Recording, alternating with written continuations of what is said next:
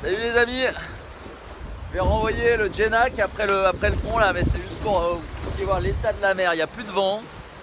Par contre, il y a une mer de malade. Je sais pas si on voit, mais le bateau il tape, mais alors euh, par moment il monte sur une vague qui doit faire 4 euh, mètres et il retombe de tout son poids. C'est le délire. Je vais essayer d'envoyer la voile comme ça sans me faire exploser. Parce là, on n'avance plus quoi. Il y, a, de la mer, mais on n'avance plus. Allez, sinon tout va bien à bord de Pure Western, comme vous le voyez. Regardez, il est nickel. Enfin, il est nickel. Alors, j'ai des petits problèmes, mais, mais rien de grave.